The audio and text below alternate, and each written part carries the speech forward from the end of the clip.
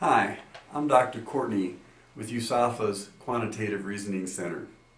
This is one of my favorite deer rifles and I can remember lots of uh, memorable shots and exciting uh, situations. Uh, one of the things that uh, I'm a little embarrassed about is that I missed nine out of the first ten deer that I ever shot at when I started deer hunting. That was because I underappreciated the importance of practice. Once I learned to practice efficiently so that I knew where every bullet was going to go, I started killing lots of deer. And there were some streaks where I'd hit 10, 15 deer in a row without a single miss. The same thing is true regarding the importance of practice uh, with respect to Calculus 3 graded reviews. If you practice the homework problem sufficiently, so that you really do know and have a confidence level in your skills, you're going to have a good idea what the outcome is going to be on every graded review. I also like rifle trajectories because rifle trajectories, bullet trajectories, are an important uh, example of the real life application of parametric equations.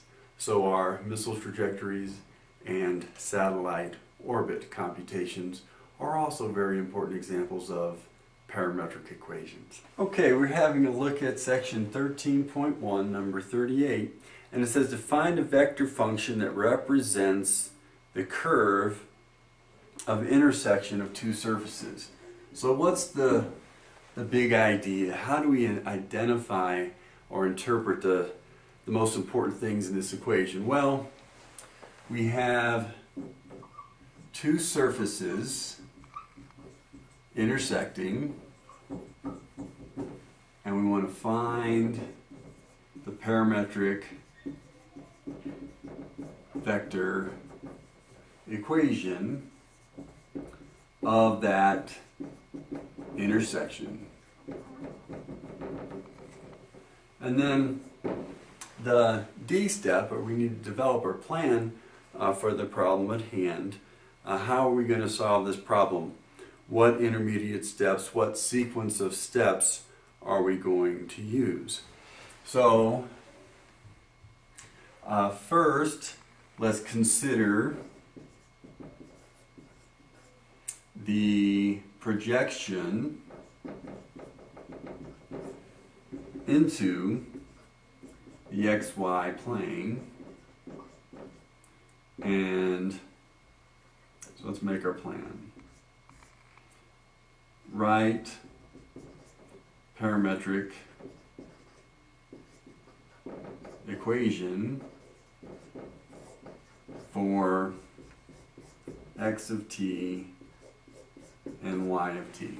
In other words, both of these curves exist in three dimensions, and thus their intersection exists in three dimensions. So our final answer will be a full uh, three-dimensional vector equation x of t, y of t, and z of t. But we can attack this a little more simply if we first think about, okay, let's just think about z equals 0, what's happening in the xy plane, and then once we describe the projection in the xy plane, then all we need to do is add the third dimension to the vector parameterization. So then we add z of t. All right, so now we're to the evaluate, or you might say execute stage of the idea problem solving format. So let's think about what we have. We have a paraboloid.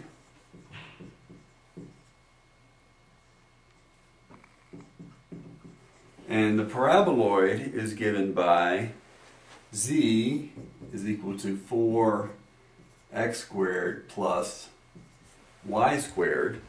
And the paraboloid intersects the parabolic cylinder.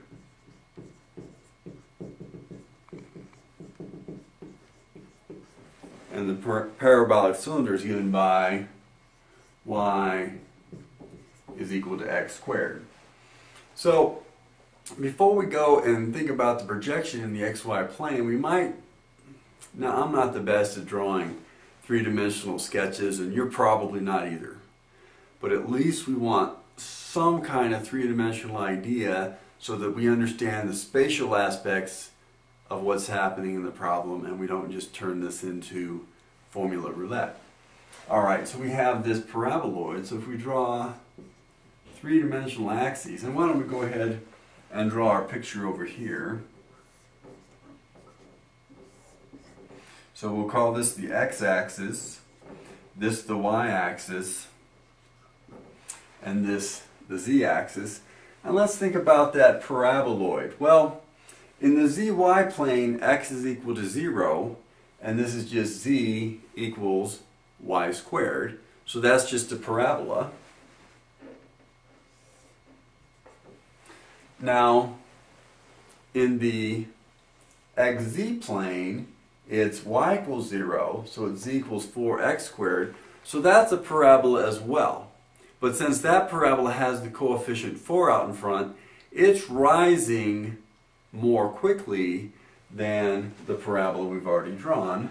So if we think about maybe uh, just helping us visualize the xz plane here by drawing some dotted lines, we have a parabola in that plane as well, but it's increasing a little more quickly.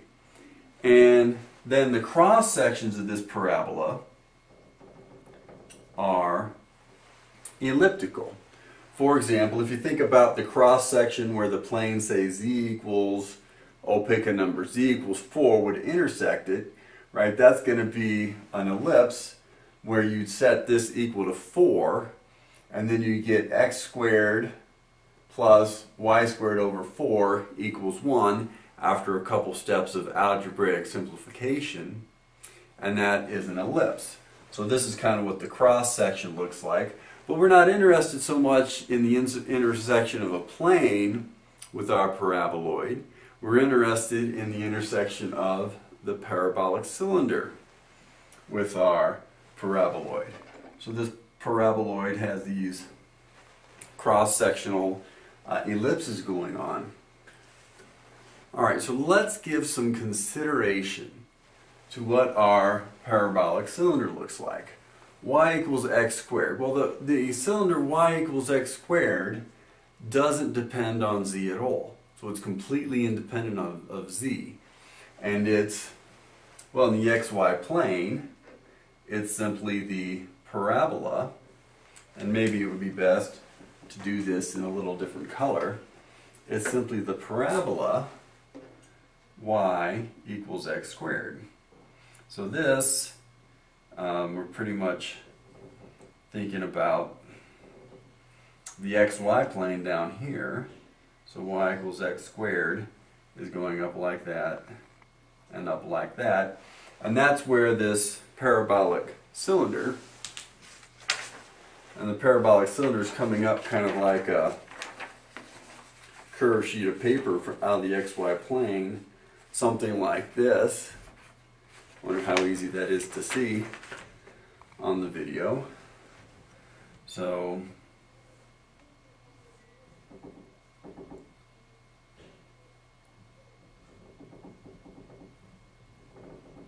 So that's, you're looking at the intersection of these two situations, these two uh, surfaces.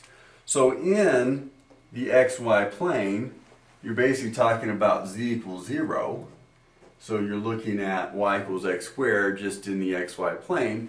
So when we want to think about our projection into the xy plane, all it is is simply parameterizing a parabola.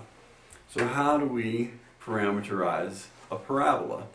Well, there's a couple of ways to do it, but I usually encourage students to try and parameterize uh, uh, things like powers and polynomials in a way where you only end up with integer powers because things end up a little bit simpler down the road. So let's just let x equals t. So then y is equal to x squared and you just substitute in so y is equal to t squared. So you can usually just pick one of your coordinates when you have a conic section and let that coordinate be equal to the parameter t and then your other coordinate would depend on the first coordinate just by substituting in t in the usual way. And this doesn't perhaps work for every imaginable situation, but it works for lots of situations uh, that are likely to come up. So x equals t, y equals t squared, so x of t equals t, y of t equals t squared. And by handling the projection into the xy plane, we've essentially figured out that when you think about r of t as a vector, where the first term is the x component, the second term is the y component, all we have really left here is the z component. And now we've already expressed x in terms of t and y in terms of t. And we know that this equation has to be true as well. Now we can substitute in the x and the y so that z of t is equal to 4x squared, well that's going to be 4t squared plus y squared. And this is where we need to take a little care because y is t squared and now we're squaring y. So this would be t squared squared. So z becomes 4t squared plus t to the fourth power. And we need to make a little more room for our final situation. So 4t squared plus, and when you square t squared, you get t to the fourth power. So this is our vector parameterization with the x, the y, and the z components. And that completes our evaluation or an execution of the plan that we developed earlier. So now we need to assess. So how would we assess this? How would we be completely certain or how do we gain confidence that our answer is correct? Well, if we used one of our computer algebra systems, say Mathematica or MATLAB, or if we used a three-dimensional graphing tool, for example, CalcPlot3D, and if we graphed both of these surfaces along with our vector curve, and if we could see that the vector curve was along the intersection of the two surfaces, then we'd have great confidence that we'd done it correctly. So to assess, we'd simply graph it.